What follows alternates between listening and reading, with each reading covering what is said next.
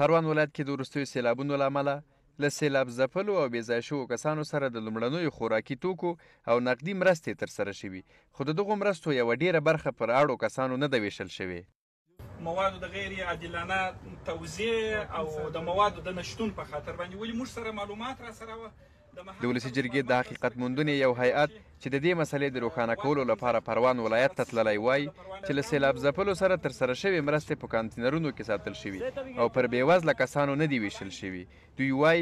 سیمه کې خلک له ډیر بد وضعیت سره مخ دي خو مرستې ټولې کانتینرونو کې ساتل شوي که تاسو وګورئ چې هلته خلک تر شنه اسمان لاندې پراته دي چې فرشونه نه لري ژړا یې بوغارې کولې چې چې نه لرو دلته کنټینران د فرشو د وړو د یعنی هیڅ داسې یو شی نشته چې دا پوډري صابون دي دوستانو او وړې دي بیا پوډري صابون وړې په یو دغه کې کنټینر کې سره یو دغه کې یو ځای کړی دي تاسو ورته وګورئ هغه وریجې دي لوبیا ده نخود دي د مایي غوښې دي بسکیټ دي غوړي دي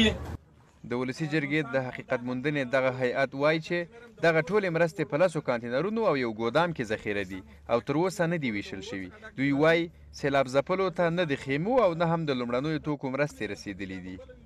هغه ولس ډېر په دردونکي، ځورونکي او کړونکي حالت کې قرار درلود. والي ته چې ورغلو، والي وویل چې هغه پیسې چې موږ راټولې کړې دي، په هغه باندې فرشونو، توسانو، وړیو، چایو، براوو دا شیان رانیسو. مګر موږ چې ګودامو ته ورغللو دوستانو تقریبا د پنځه شپږ ولایته مواد بسیږي دا یو دا یو دوه درې څلور پنځه شپږ اووه اته نه لس کانټینره په دې ځای کې د موادو څخه ډک دي یو غټ ډیپو په هغه ځای کې د موادو ډک چې هغه هم د پنځه شپږ زره کورنۍ دپاره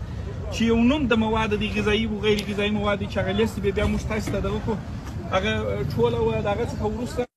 خو د پروان ولایت چارواکي وايي، له سېلاب ځپلو سره د مرستو ډېره برخه په اړو کسانو وېشل شوې او یوه کمه فیصدي یې پاتې ده، چې هغه هم په اړمنو کورنیو وېشل کېږي.